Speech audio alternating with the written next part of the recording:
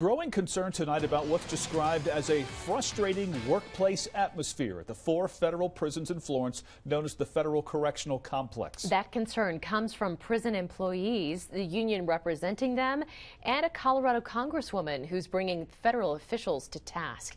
KRDO News Channel 13 Scott Harrison is live in our newsroom to break down this controversy. Scott. Well, we spoke with two members of the Prison Employees Union tonight.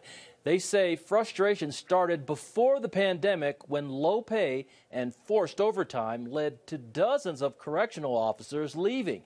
There were two pay increases last year, which helped hire more officers, but around a fourth of them are still leaving because the situation now affects other staff as well.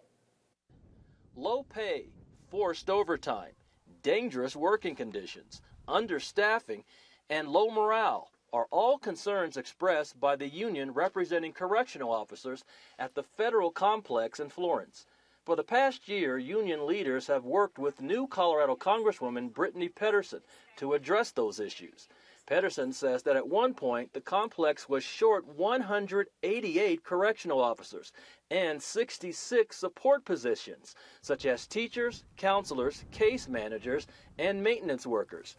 In a statement received today, she said, quote, during my visit to the prison earlier this month, I heard directly from officers about the difficult working conditions and the impacts they're having on morale, as well as employee retainment. I've been urging the Bureau of Prisons to make changes, and I'll keep pushing at the federal level until we see solutions. John Butkovich, the union president for the workers, agrees with Pettersen especially where support staff are concerned. They're stressed out because they're being reassigned to a correctional officer post and then still have to do their duties without any additional compensation. So you're having a, a teacher run a cell house who's not normally running a cell house. Are they capable of doing it? Yes. Is it the safest way? No, because they're not familiar with the day to day operations. So, Pettersen is taking action. In January, she wrote a letter asking the Federal Bureau of Prisons and the Office of Personnel Management to rectify the situation. And last week, she wrote another letter to the Bureau of Prisons after touring the complex in Florence and hearing the same concerns from employees. She and the union believe that officials aren't responding quickly enough.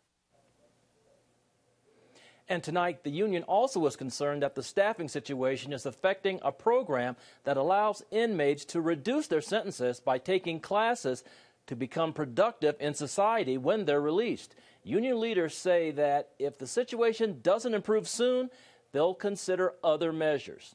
Live in the newsroom, Scott Harrison, KRDO, News Channel 13.